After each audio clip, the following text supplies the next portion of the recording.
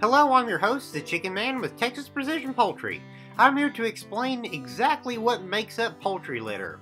In my opinion, litter is a somewhat misunderstood part of poultry production. Litter is a matrix of bedding, manure, feedstuffs, and other products produced through poultry production, such as feathers or even a screw dropped from the farmer. Yet the final component of litter is, in my opinion, the most important the microorganisms. There are bacteria, fungi, and protozoa within the litter matrix. They come from the environment as well as the gut of the bird. These microorganisms are what make the deep litter method work. They are the reason the litter will break down in the coop as well as in the compost pile.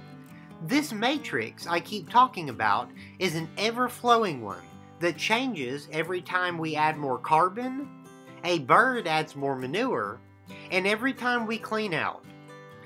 The litter can make or break a poultry production cycle, leading to potential profits if managed right, or potential losses if managed wrong.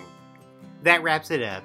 If you have any questions, leave it down in the comment section, and don't forget to check out our social media accounts. Links are in the description below.